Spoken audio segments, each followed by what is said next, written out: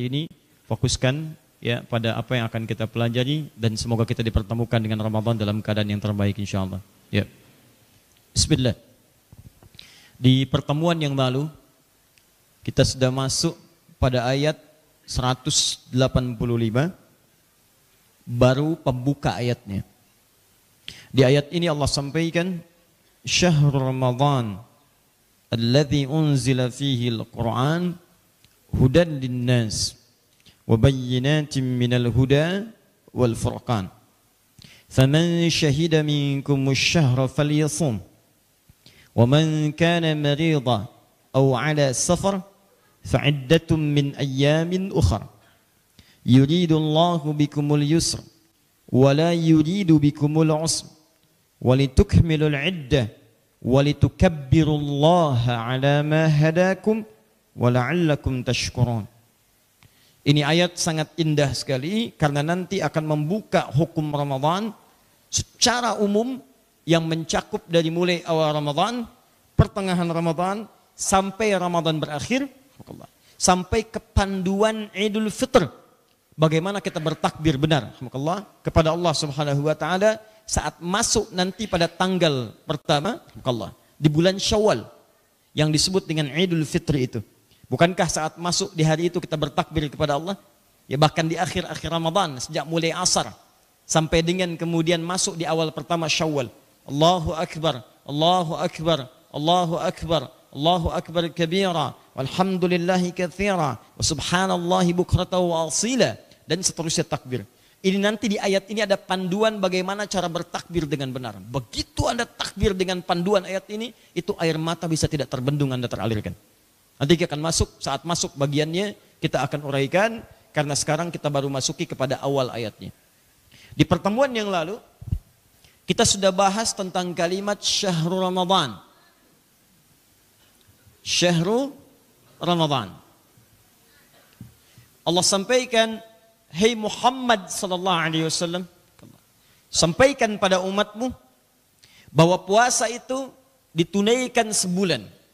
Kalian sudah kuat, sudah mulai terbiasa, sudah mulai beradaptasi, sudah diberikan toleransi untuk menyesuaikan dengan turun ayat-ayat sebelumnya. Maka mulai saat ini, kata Allah, tunaikan puasa itu sebulan, lalu diperkenalkan namanya disebut dengan Ramadan. Sudah kita bahas di pertemuan lalu, kenapa hikmahnya Allah menyebutkan kata Ramadan di ayat ini. Salah satunya, Allah ingin berikan pesan, bulan ini bukan bulan biasa, tapi bulan saat semua dosa akan digugurkan oleh Allah Subhanahu wa taala seperti teriknya panas matahari membakar dan menghanguskan semua hal yang terkena dengan sinarnya. Jadi kalau Anda mendapati cahaya mentari bisa membakar sesuatu, ya misal mohon maaf ya kalau sekarang kan jaraknya masih terlampau jauh ke matahari. Tapi kalau sudah mendekat, mendekat, mendekat, tidak usah matahari lah.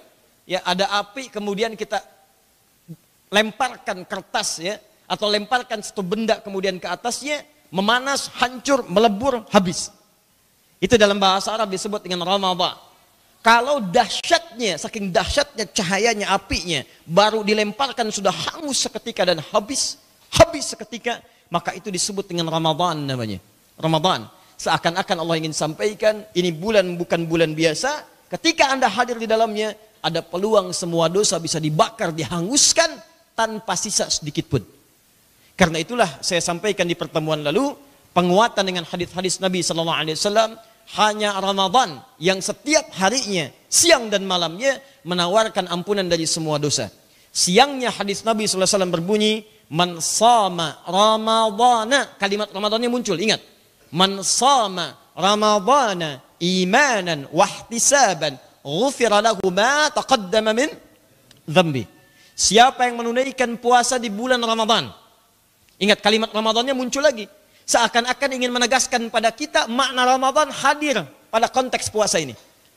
Begitu Anda puasa, lihat baik-baik, siang harinya dimulai dari sejak fajar sampai dengan maghrib. Imanan lakukan karena Allah itu kuncinya. Wahtisaban banyak mengoreksi diri, ingat-ingat dosa seperti saya ajarkan di pertemuan lalu. Tangisi dosa Anda, tangisi lagi, tangisi lagi. Belajar untuk menangis setiap hari. Di jalan, sampai dengan ke kantor, koreksi di tempat mana Anda berbuat dosa. Di pakaian mana yang Anda kenakan pernah berbuat dosa. Di pena mana yang Anda pegang pernah berbuat dosa? Di kendaraan mana yang Anda tumpangi pernah berbuat dosa? Istighfari. Istighfari, wahtisaban. Ketika Anda istighfar maka turun ampunan Allah. Ghufirallahu ma taqaddama min. Dibakar semua dosa. Sampai masuk ke maghrib malamnya Anda qiyam. Man qama ramadhana. Kata Ramadhannya muncul lagi. Hadisnya sudah saya sampaikan di pertemuan lalu. Sudah Anda tuliskan. Man qama ramadhana imanan wahtisaban. Kalimat yang sama. Min. Malam harinya dia bangun, dia tunaikan sholat. Di sela-sela rakaatnya dia mohon ampun kepada Allah.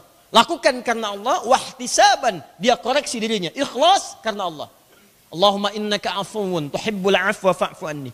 Ya Allah, ya Allah, ya Allah, engkau maha pemaaf. Penghapus semua dosa.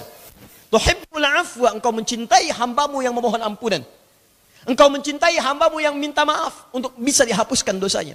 Fa'fu anni, maka mohon hapuskan seluruh dosa-dosaku. Paham? Maka itulah sebabnya kalau Anda mendengar kata-kata Ramadan, maka yang penting diingat, sandingkan dengan ingatan itu ada ampunan dosa mengalir di dalamnya. Jadi kalau disebutkan kapan Ramadan tiba, nanya pada Anda, itu kalimat Ramadan dititipkan pada lisan orang tadi untuk memberikan pesan kepada Anda, dosa Anda akan diampuni sebentar lagi. Jadi kalau semua orang itu mendengar kalimat dan melihat membaca seperti itu, Anda akan senang dengan Ramadan. Anda lihat iklan di TV datang, Ramadan sebentar lagi, Ramadan tuh. Dia cuma nyampaikan aja, tapi Allah menitipkan di lisan orang itu untuk memberi pesan pada kita, sebentar lagi dosa Anda akan diampuni. Sebentar lagi dosa Anda hangus. Sebentar lagi Anda kembali suci dalam kebaikan. Dan itu pilihan jika Anda mau membersihkan diri di hadapan Allah Subhanahu wa taala. Tapi kalau Anda yang nggak minta ampun tetap kotor juga. Ramadannya suci, orangnya belum tentu. Tapi Anda diberi pilihan untuk mendekat kepada Allah. Jadi saya sering katakan, kalau Ramadan kali ini belum mampu mengampuni dosa Anda, maka Anda butuh berapa Ramadan lagi untuk bisa bagus di hadapan Allah Subhanahu wa taala.